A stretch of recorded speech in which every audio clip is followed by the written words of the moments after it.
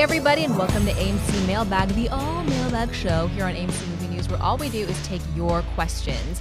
I'm Ashley Mova, and if you've got a question that you want answered on air, you can send it over anytime to amcmovietalk at gmail.com. You could get it answered on Movie Talk or Mailbag, and sitting with me to answer those questions right here, right now, is the editor in chief of AMC Movie News, John Campea. John, how are you? I'm good. Welcome back. Thank You've you. been gone for so long. Thank you. I know it's been it's been uh I feel like I served my American duty and I'm Yes. back. You're doing jury duty, right? I was doing it's like a nerve wracking process. I never want to go through that again. it's so scary. You have to tell me all about it sometime. Yeah, okay, here we go.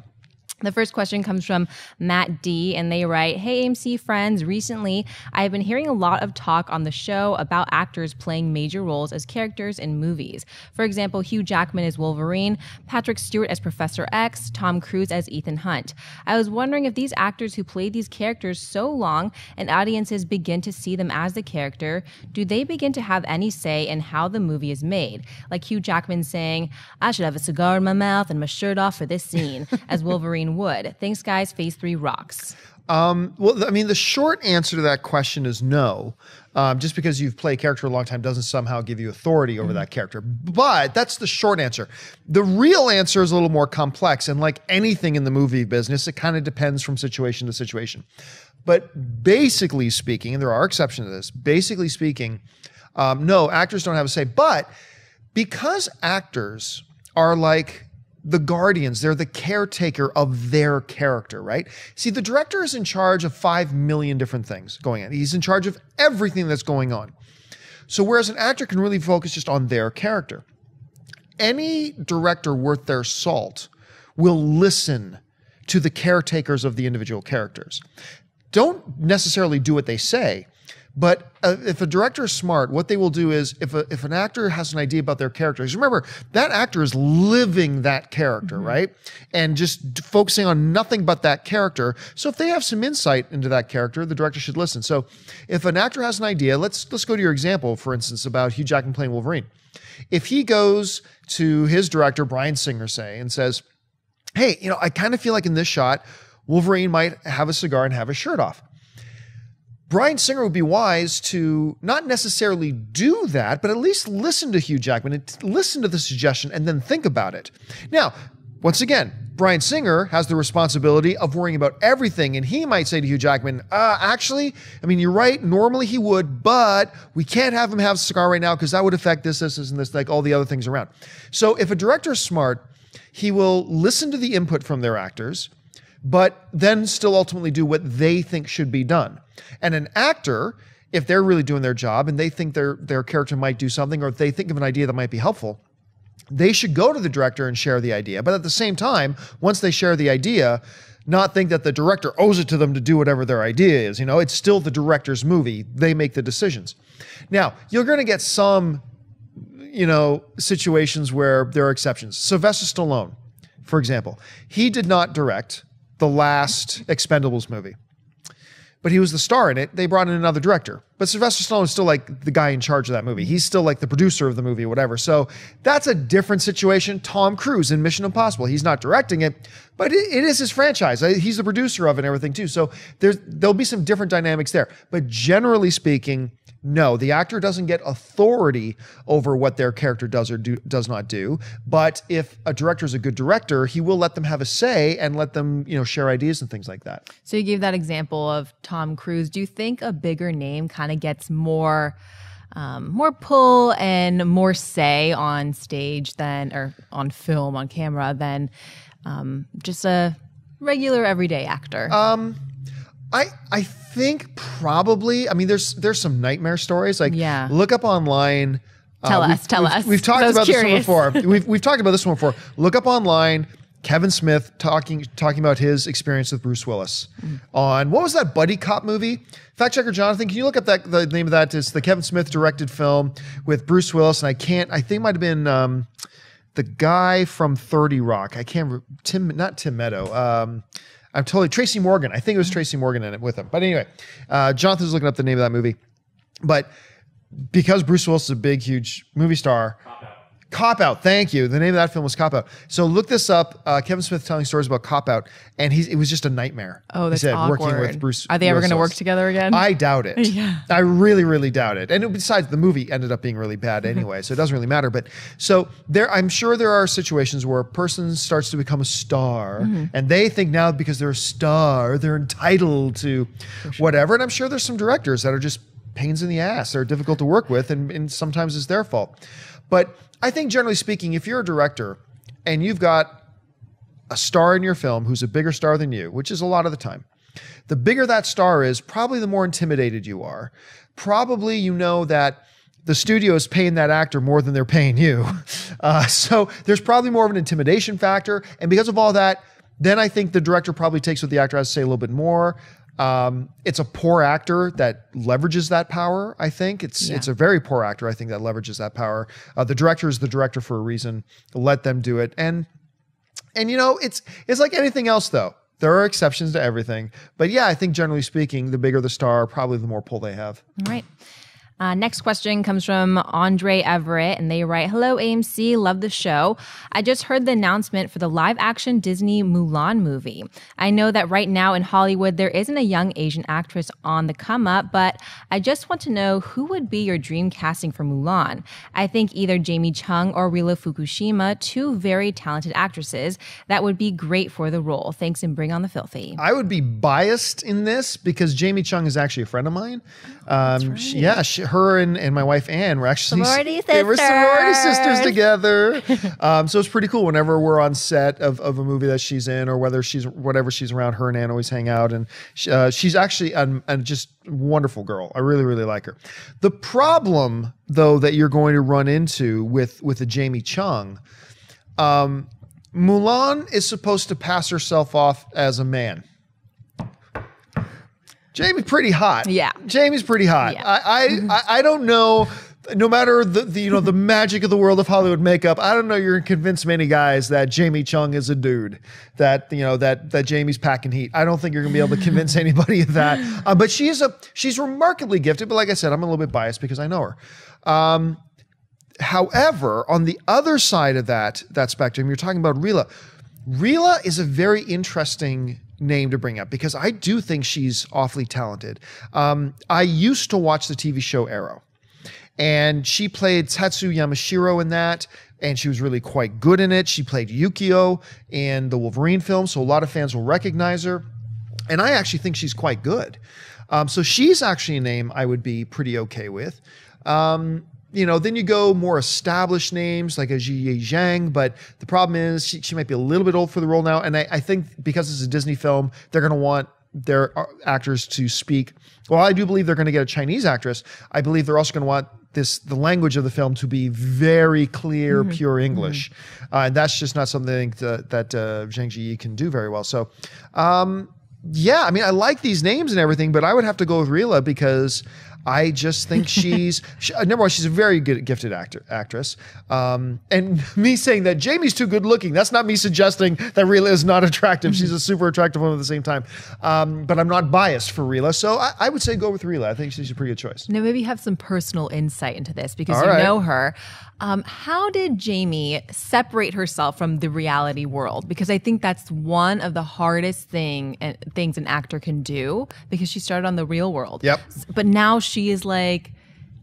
And known as an actress, not even Yeah. oh she started here and now she's kind of trying to do things like she is an actress. How did she separate herself from that? Uh, that's a really good question. I mean, she started small. She started with smaller things and worked up, and then I, I think her real big break, uh, big break, was with that horrible Dragon Ball movie.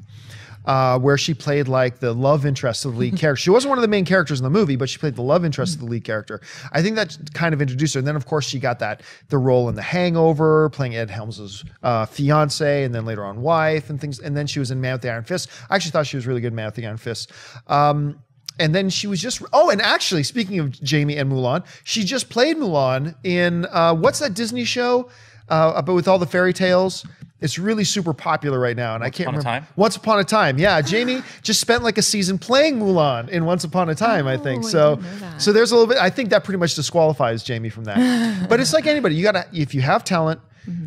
you have good representation, you make smart moves, and you start small, then you know you can go anywhere, even if you start out in a, rally, a reality. And it was show. her UC Riverside education. Yes, We went to the same college. and whatever Kappa Beta Mia Kappa Sia- Kappa Gamma. Kappa Kappa Gamma. Okay, if, if that's the name of the, I'm not going to pretend I know the name of the sorority, but yes, I'm sure her connections and that is what did it. All right. Brian Olivas writes Hey guys, I've been a fan since your early days, and I cannot congratulate you all enough for phase three.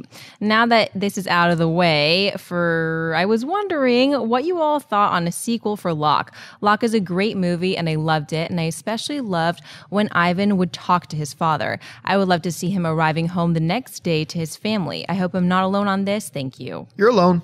Uh, well, actually, let me change that. You're not alone in, in being somebody who would be interested to see another Locke movie. Um, Locke with Tom Hardy, incredible film. It's one of these films very difficult to do where it's just one person in the movie. Incredibly difficult to shoot those, and as an actor, incredibly challenging because you really show your stuff because you you got nothing else to lean on. All your weaknesses are going to be laid bare. Your weaknesses as a performer, as an actor, are going to be laid out bare because there's nothing to hide it with. It's just you. And that's why when you get like Tom Hanks in Castaway, Ryan Reynolds in Buried, Tom Hardy in Locke, it really shows off what these guys are made of and what they can do. However, that being said, um, you will never see a sequel to Locke, at least not one that's going to play in theaters. Locke made, hold on to your seats, $1.3 million at the box office. 1.3. Now, it wasn't a big wide release, granted, but even for the limited release, that wasn't great. Uh, I'm sure it got more word of mouth and everything like that, but at that pace, you know, Tom Hardy's about to be in one of the biggest films of the year with Mad Max. Then he's about to be in one of the biggest films of next year in Suicide Squad. Oh, sorry, he backed out of that, didn't he? We won't go into that story. Uh, but he's, you know, he's about to play Rocket Man. I mean, he's about to do a lot of things. At this point, you can't pay him his salary. You can't pay him what he's going to be worth at this point.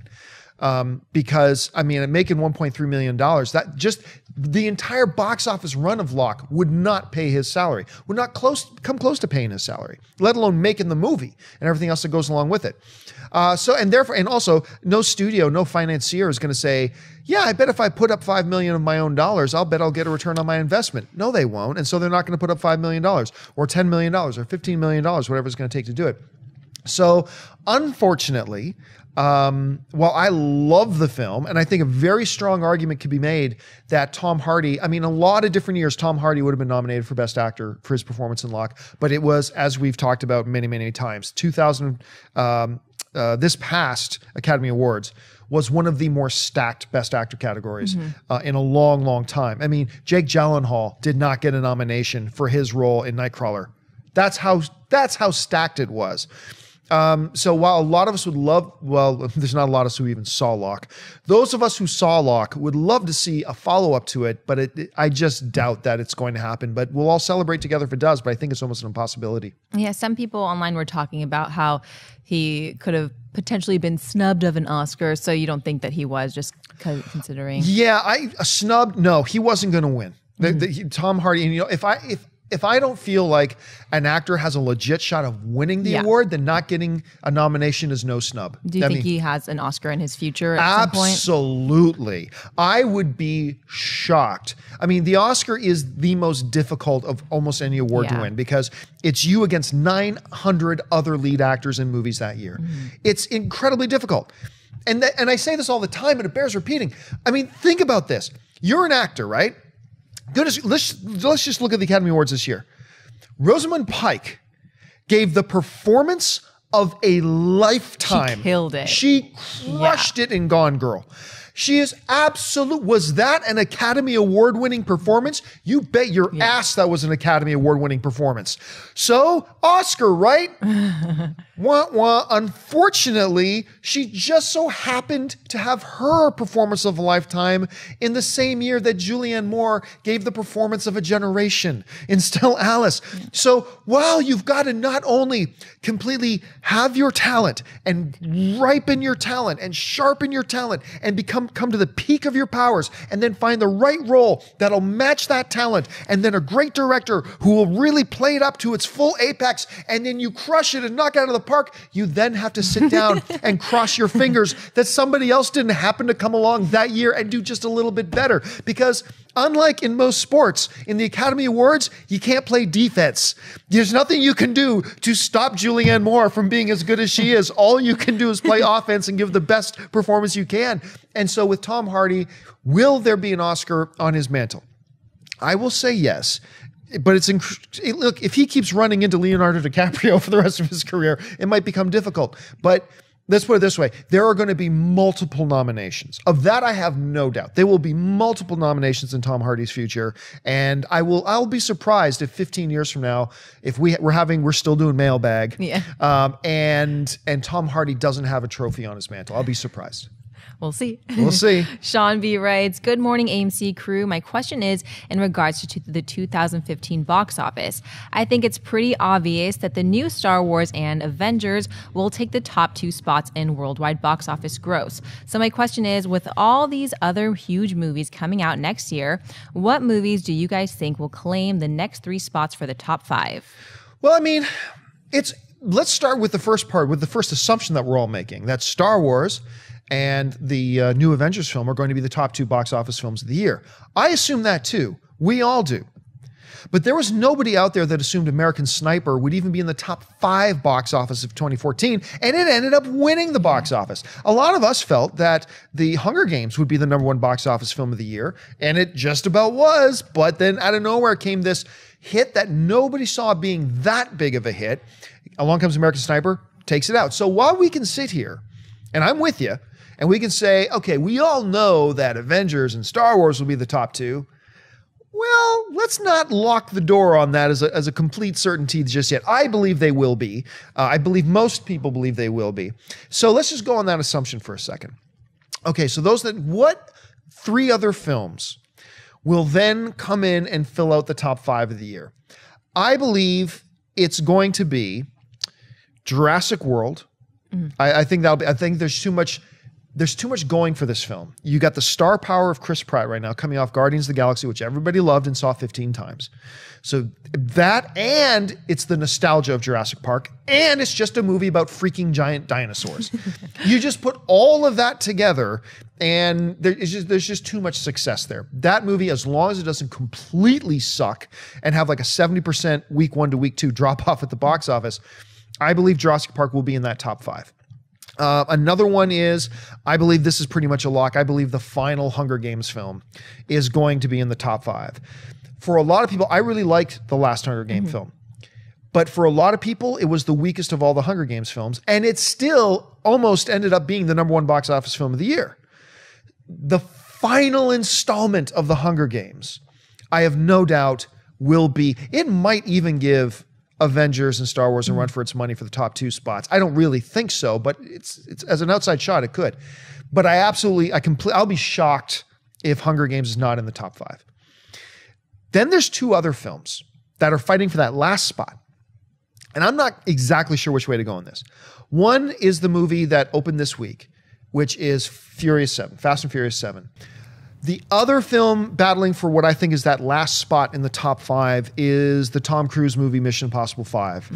The last one made a lot of money and everybody loved it. So it's riding on a high right now. The, the Those of us who saw, um, I keep wanting to just call it Live, Die, Repeat, but Edge of Tomorrow should have been called uh, All You Need Is Kill. But anyway, uh, Edge of Tomorrow loved Tom Cruise in that movie. He was so good in that movie. And now here he is again, back in the action saddle again with a franchise that he's been doing great in. A lot of people love what he did with Mission Impossible 4 it's going to give Fast and Furious 7 a run for its money. So I believe Jurassic World and the Hunger Games film will hold the three and four spot in whatever order. And then Furious and Mission Impossible will fight it out for that fifth spot. Now, this is all not taking into consideration the whole American sniper, you know, gambit here. Uh, One of these, some film can come out of nowhere and shock us. But if I had to put my money on it, and I had to pick one, I'm going to say Furious 7 will get the fifth spot. So it's going to be five of those six will be in the top five of the year, I I, believe. just named all these huge movies. And when I read this question um, probably because I just came back from Pixar, thanks to you guys. Um, Oh yeah, and you were at the- Pixar this. Yeah, oh, I totally forgot yeah, about that. and so now I have Pixar on my mind, and we got to see a chunk of Inside Out, Oh, and they talked a little bit about that dinosaur movie, the No Good Good the- the Dinosaur. Good Dinosaur, yeah. Um, You're about to say No Good Dinosaur? The No Good Good Dinosaur. um, so do you think? Pixar has any chance because it's been a while since a Pixar movie came out, so maybe people are like really excited for a Pixar movie. Oh, uh, I look. Inside Out is in my top five most Yeah. anticipated films of the year. It, I'm losing my mind. However, Inside Out presents an interesting. It's going to make a lot of money. Top five money? I don't think so. Inside Out presents a very weird problem. Is that it? That it's a difficult movie to market. And while I have liked the trailers, I think I've mostly liked the trailers because I saw 15 minutes of the film uh, like a year and a half ago. And seeing 15 minutes of the film, you get to see it all in its context. I got so excited, it's crazy. But if I take that experience out of my head and just watch the trailers, pretending I hadn't seen the 15 minutes, they're they're not marvelous trailers. But I, I don't know how you make marvelous trailers for this movie. Because of that, I think I don't think Good Dinosaur is a threat at all. But What about the No Good Dinosaur? the what the no good that dinosaur. guy? now that that movie, if you put a rating R on that, There you could, it you is. could have got a hit. But Inside Out, I think is going to be a great movie.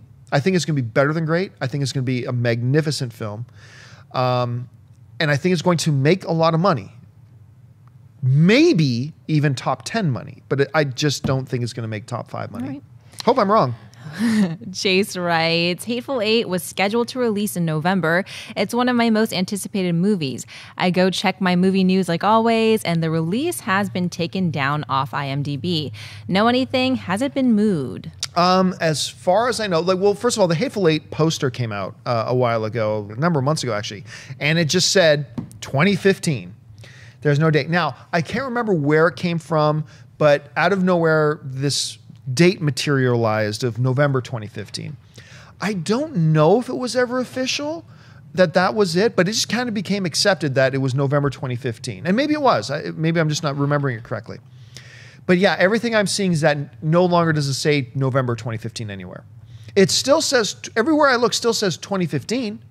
They're still saying 2015, but they're not committing to November. Now, they're already in production. They may have actually finished shooting this movie by now, actually. We, we were probably, if they haven't finished shooting the film by now, they're probably getting close to finish shooting. They didn't go into post production. This is a film that will probably be ready for theaters, maybe even come August. But a lot of films, most films don't just go to theaters when they're ready. They're, you know, usually there's a wait time. Uh, so I still think this will come out in 2015, but I have not heard anything. I think it'll be between August and December, so that's a finite window. It'll be in there somewhere unless they really, you know, decide to pull one out of left field and say, okay, no, we're, we're moving it to 2017 or, or something like that, or summer of 2016. But I haven't heard anything like that at this point, so I'm still expecting it to come out sometime between August and December, but I have not heard anything official. Um, if a movie does change its release date, because he said it was supposed to come out in November, um, what are some reasons that it would move? And are there any good reasons that it could move? I always assume that it's going to be bad. Yeah, well, sometimes, I mean, most of the time, the situation is they're moving it back three months or six months or a year or whatever. That's never a good sign. Yeah. Um, sometimes, very rarely, they move it up. Like Mission Impossible was supposed to come out in December, and boom, they moved it four or five or six months up, and now it's coming out this summer. So they actually moved it ahead. Um, usually, what happens is if a studio look when you release movies is such a huge art and science to these studios and so important. Picking the right release date of a movie let's say a movie was going to all other things being equal just a wash across the board generally speaking this movie was going to make 75 million dollars at the box office. Putting that movie out on the wrong release date could mean that 75 million dollar movie becomes a 64 million dollar movie putting it out on the ideal date could mean that $75 million movie becomes a $91 million movie. And don't think for a second that the studios don't lose sleep, hire and fire people over $12 million because they do. Every single dollar counts. I mean, seriously, $12 million can be the difference between a, a, a studio having a party on the lot one weekend and laying 15 people off. You know, that's that's how big of a difference it makes. That's how fine the, the, the margin is sometimes. So there is an art and a science. So it can be a situation of worst case scenario. This movie is not coming together the way we wanted it to come together. We need to schedule a month of reshoots. We need to take this back to the drawing board. We need to take this back into the editing bay. The director needs three more months to do this. Whatever. We got to push it because of a problem with the movie. That is option number one. Another option, which I think is more normally the case, is the studio decides, you know what, this date that we have our movie planned for right now is no longer the right date. Either because another movie just got announced to open against it, or a date, say four or five months later, that was occupied by something else that made it a bad date. Maybe another movie moved off a date that has now become available. It's like, you know what? That date is better for our movie under these circumstances, and we're going to move it. So that's option number two. Option number three, which is the more rare of the occasions, is the Mission Impossible situation where it's like, we're going to move the movie up. Now, I'm not talking about moving it up one week or two weeks, but like significantly up. And they just figure, you know what? We think there's an opportunity here. We are ahead of schedule. We have everything in place that we really need, and we feel comfortable we can have the movie we want in the shape we want it in to be in theater by this date, and that date would be a good plan for us, even though two months ago we didn't think that date would work for us let's make the move and do it. So those are the three scenarios. I, I think the the most common scenario is just the science of picking the right release date and the re- right release date opening up.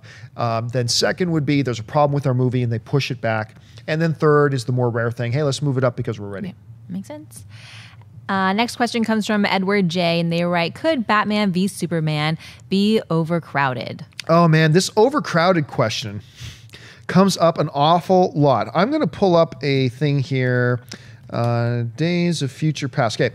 The question always comes up with almost any movie. That movie's getting too crowded. they just listed six characters in it. That movie is too crowded. Okay. I think the vast majority of us will agree, not everybody, because no movie gets everybody agreeing, but the vast majority of us will agree that X Men Days of Future Past was an awesome movie was paced well and all that kind of stuff and didn't feel overcrowded. However, in that movie, you had Wolverine, Charles Xavier, Magneto, Mystique, Storm, Beast, Rogue, Kitty Pryde, Trask, uh, Iceman, Bishop, Quicksilver, Stryker, Colossus, Blink, uh, Warpath. Um, uh, I'm trying to think of some more that were in there. Anyway, on and on and on. There were a lot of characters. A lot of characters. The, the issue about overcrowding a movie is not are there too many people in this movie? Even a conservative romantic comedy will have 50 or 60 characters in their film at any one time. That doesn't mean every character has a significant role. That doesn't mean every character even has lines. That doesn't mean any of that kind of stuff. The question is not how many characters do you have there. The question is always how do you use your character? I know it sounds like I'm talking about something else, but I'm not.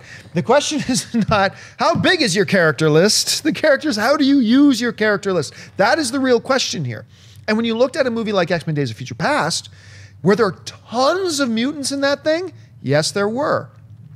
But did it feel crowded? No, because they used each one just right. They knew how many, you know, characters to just give little one lines, yet make it feel like they had significant presences in it, but focus the majority of your screen time on four or five key characters. Now, go to something like The Amazing Spider Man 2 a movie that I, I happen to like, but I did not love, and I thought was a big step down from The Amazing Spider Man 1. But a lot of people hate that movie. And there's good reasons to hate it. Gwen Stacy forever. and I love Gwen Stacy in that. But really, when you look at it, that movie is not crowded. There are only a couple of key characters. The problem is how badly they were used and how badly they budgeted the screen time for each of them and what they use the screen time. And when you butcher that, suddenly a fair number of characters suddenly feels overburdened and suddenly feels overcrowded. So, I no, I, am not worried at all. I, look, I have a lot of things I'm worried about for Batman versus Superman, just because I'm so excited for it that I want it to be good so badly. Um, I think there are a number of concerns you can have, but one of the concerns that I personally don't have at all is this concern of it's going to feel crowded. Because somebody can say, wait a minute, it's going to have Wonder Woman and it's going to have Cyborg and it's going to have Aquaman. It's going to be, yeah, but like I just said, X Men had Bishop and Colossus and Blink and Warpath and Kitty Pryde and Rogue and Beast and Storm and Wolverine and blah, blah, on and on and on and on. How are they going to be used? That's the key thing. We won't know that till we see the movie, but I have a lot of faith in it. I have a lot of trust in it. I do not think overcrowding is going to be the issue. Do you think no matter how fabulous this Hmm. movie is going to be, that someone people are just going to complain about it? Of They're course. just going to find things to complain about. Sure, but that's the beauty of it, right? That's the beautiful thing about it is all film is subjective. And and that means there is no movie ever created in the history of mankind that everybody hated. They just that movie doesn't exist. That's there's it's going to appeal to some people. There is no movie that has ever been created that everybody loves. Mm-hmm. Doesn't exist. And that is the best thing. For some people, that's a frustrating thing about movies. To me, it's the most beautiful and the most awesome thing about movies is that no matter how great I think a movie is, you know, Dennis can come to me and said, Man, I hated that movie. And I go, What? And then because he'll have a completely different perspective than I will. And then we can engage and we can each call each other crazy or whatever, but we'll learn from different perspectives and things like that. I think is the best thing about it. So, will there be, no matter how great Batman versus Superman is. Will there be people that complain about it? Absolutely. And that's the way it should be. Yeah. Next question comes from S. Duffy, and they write Hey, AMC, I recently found the show and I really appreciate the work that goes into all of your content. My question is about the upcoming Deadpool movie. Do you think that in the movie, Ryan Reynolds' Deadpool will make reference to X Men Origins Wolverine and what they did with the character in that film? I think that could be hilarious. Just a thought. Thanks. I was having this exact conversation with a friend of mine because look, one of the things about Deadpool, you got to take some liberties here, right? Because this isn't exactly the way his power works, but one of Deadpool's mutant powers is that he does break the fourth wall. He is he is conscious of the fact that he is a comic book character. He lives outside of it in many ways. And I'm sure they're going to carry that over the movie. Ryan Reynolds has pretty much said so. But what that can also mean is even though the events of X Men Wolverine, I, I believe, are no longer part of the continuity because of the whole time reset that X Men Days of Future Past did, I think there is comedic gold sitting there of even though it's not a part of the timeline anymore because it was erased by X Men Days of Future Past, if Wade, aka Deadpool, was completely aware of the events in X Men Origins Wolverine and is completely aware of himself in that movie and what happened to him in that movie. And one of the most unimaginable gaffes any movie has ever made, where you take a character who is known as the Merc with a mouth and then surgically seal his mouth. I, I don't understand what they were thinking. They were I'm not suggesting anything, but they were doing a lot of drugs. Uh, say, hey, I know. Let's take the guy. Let's take the merc with a mouth. and let- Let's take the blob and make him skinny. Yeah, I know. It, it made no sense. I think there is comedic gold there to be mined to have Deadpool cognizant of that movie. And that even though nobody else will know what he's talking about in his world, nobody else will know because it doesn't exist. But if he knows about it and makes some some jokes about having his mouth removed or something like that, I think those of us who had the misfortune of watching X Men Origins Wolverine will laugh a lot. I think I, th- I hope they do it. I think that would be really cool if they did. I read that um, I think a couple years ago in Variety that he said that it was in the script at that time, but that was also two years ago. So God knows that changed. Um, you made um, a, a separate video about it, but how happy are you about the R rating? Well, you know, here's the thing. I, I'm very happy about it, but it, but I'm not as happy as a lot of people simply because, as a fan, I was content. I, I would have been perfectly happy with the PG-13 Deadpool. I wanted an R-rated Deadpool. If it was up to me, I would make it R-rated. But at the same time, just what you can do in film today you could have i think you could have made a pg-13 deadpool. Because remember folks look everybody there are a lot of people out there right now who are treating like r that means it's going to be awesome. There are a lot of r-rated movies that completely suck. So don't think r is somehow a magic formula to a good movie. It's not. It just means it's a bad movie with more f-bombs. That's all it means. Um, but i i think the way they're handling this movie is so good. Really right from the marketing of it. Did you fall for the April Fool's joke Oh, of course I did. Yeah, I absolutely fell for it when when he came out because generally speaking in the movie world right when you april fools news you april fools what some people would think is great news. Like harrison ford announces he's going to do four more indiana jones films. Ah april fools right? But what happened was they brilliantly ryan reynolds brilliantly played to the assumption we all had anyway that it was going to be pg-13 Okay, guys. And he fought, he really pressed it home by saying, "But don't worry, man. We're still there's going to be chimichangas." And he even swore in his tweet, "There's going to be an S ton of this action, great chimichangas, breaking the fourth wall. It's going to be awesome. Trust me." He sold it. He so sold it and got us all to buy in. But then that video he did with. Uh, I just I just call him AC Slater. Uh, the video he did with uh, uh, oh, Mario, Mario Lopez, Lopez, Yes, Mario Lopez, right? The, the video he did with Mario Lopez, he was so great in it. The way they've handled it so far, if this is any indication of the spirit they're going to bring to the movie itself, even if it looks cheap, because they're doing it on a small budget relatively, even if it looks cheap, I think we're in for a hell of a good time. So uh, I'm very I'm happy they, they did it R, but I would have been cool if they did PG 13. But I I really think this is shaping up to be something special. Fingers crossed. Fingers crossed. Nathan writes, Hello, everyone at AMC. I love all the new shows and watch them as soon as they are available. Awesome, thank you. I wanted to talk about Terminator. I am one of the few people who enjoyed Terminator Salvation. I liked how it didn't go, let's send a Terminator back and kill John Connor, but took place in a world where Judgment Day still happened. So, my question is with this new Terminator, do you like that they are going back to sending a Terminator back in time to kill Sarah Connor, or would you like for them to have kept it in the post apocalyptic era and do a new story on how John Connor became the leader of the resistances? No, no, no, no, no, no. I, w- I wouldn't want it. That I like. I hey, look, all films subjective, and I'm really glad that you enjoyed um, Terminator. Uh, waste of time. What, what was it called? Terminator Salvation. I'm really, really glad you enjoyed it. I, I honestly am, and I know a couple of people that enjoyed it. I hated that film. Um, there are a number of people in this room that hated that film. And I think it would have been a mistake. Terminator, I, I think at some point in the Terminator franchise, you take a shot at telling the post apocalyptic, uh, apocalyptic battle part. But the heart and soul of Terminator is about the battle for that future and the battle to try to either prevent or alter or some somehow uh, you know fight off that future. That's the heart and soul of the Terminator mythology and story. I believe you bring it back, but it also now looks like they're pulling at X Men Days of Future Past in many ways. They come back just the way they did in the first Terminator, but now the timeline has been altered. Something is now different. They're living in that time of the first Terminator, but now it's things are completely different.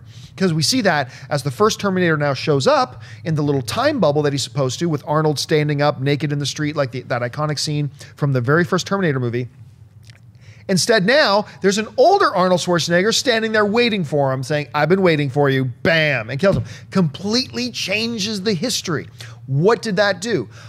Look, I'm not saying the new Terminator film is going to be awesome. I know some people don't like the new trailers. I actually, I did. I've enjoyed the trailers so far. I'm not jumping up and down about them, but I like them. I think if you're going to do a new Terminator today, I think the approach they're taking is the right approach. And I think they're doing the right things. That still may not end up being a good movie, but it's at least giving me some hope. So I'm, I'm curious about it. Do you think Terminator can ever exist without Arnold Schwarzenegger? Yes. Really? Yeah, I really do. And I honestly, I think there was a very underappreciated Terminator, the Sarah Connor Chronicles uh, television show that I think showed you can do the Terminator uh, storyline and mythology and all that kind of stuff. Sans Arnold Schwarzenegger. I think you can do it. I'm not saying it'll be better off without Schwarzenegger, but I the, the story of Terminator is not really about the one robot. It's not about the Terminator. It's about humanity. And it's war against the machines. Now it sounds like I'm talking about the Matrix. Um, you could do a shared cinematic universe, by the way, very easily with the Terminator and the Matrix. Just saying, look it up anyway. Um, but yeah, you could, you you totally could. And but I like that he's back for this one. And it sounds like they've come up with a really good logic hook for why he's there and he's older and all that kind of stuff. So I'm I'm, I'm a little bit excited for it. Yeah, me too.